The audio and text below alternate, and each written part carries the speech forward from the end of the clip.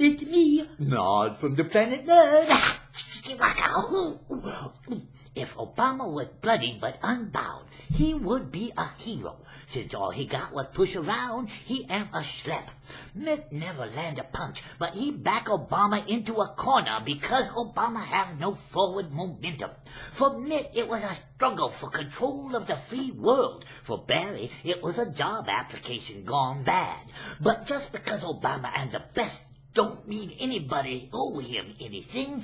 He forget that he asked for the job. Nobody drag him out of bed and point at the White House. If he want gratitude, he should be a waiter. At least he get him some tips. Come on, Barry, get back in the fight. We rooting for you. and don't forget to move your feet.